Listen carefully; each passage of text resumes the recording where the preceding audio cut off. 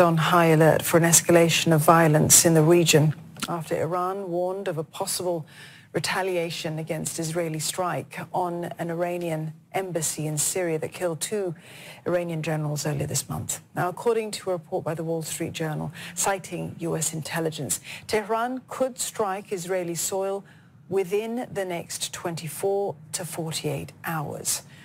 Concern about a possible attack has prompted international actors to try to defuse the situation, which has spilled over from the ongoing war in Gaza. America's top general for the Middle East moved up his trip to Israel to discuss the threat, while the top diplomats of China and the U.S. held a phone call about the situation. Wang Yi has urged Washington to play, quote, a constructive role in the Middle East. And Antony Blinken has asked Beijing to use its influence to dissuade Iran from striking Israel. Secretary Blinken has been engaged in diplomacy over the past 24 hours uh, through a series of calls to foreign counterparts, including Turkish Foreign Minister Hakan Fidan, Chinese Foreign Minister Wang Yi, and Saudi Foreign Minister Faisal uh, bin Farhan to make clear that escalation is not in anyone's interest and that countries should urge Iran not to escalate. Well, other countries are also taking precautions in the region. The U.S. has restricted movements of its diplomats in Israel. France has urged its citizens to avoid traveling to Iran, Lebanon, Israel and the Palestinian territories, while India has advised citizens against traveling to Iran or Israel. For more, Alex Kadia joins us. He's live in Tel Aviv.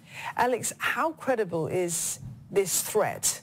of a retaliatory strike by Iran? And how is Israel preparing for the possibility of escalation?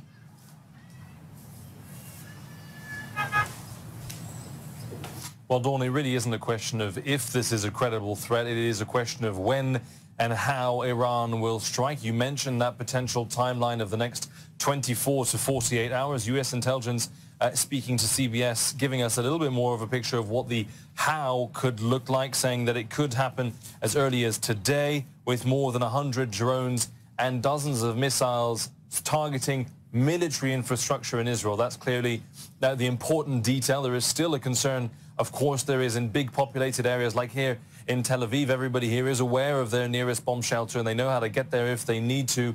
Uh, we know the Israeli uh, military saying they're on very high alert bracing for any attack. They've boosted the air defenses, which we expect may come into play here uh, to protect Israeli assets and Israeli soil. We've also heard warnings from Yoav Gallant, the defense minister, saying that if Iran strikes Israel directly from Iranian territory, Israel will uh, reply, respond in kind, hitting Iran directly from Israeli territory. Now, that kind of road to escalation is what those diplomatic efforts have been trying to avoid. We know as we just mentioned, the U.S. Secretary of State, Antony Blinken, speaking to all the key powers around the world, trying to have every, uh, all of them leaning on Iran and on Israel where possible to avoid this escalation. We've also heard U.S. intelligence sources saying these strikes by Iran may not be uh, that massive that they will force an escalation on Israel's side. Realistically, we don't know uh, how and when this will hit. We know it'll happen soon.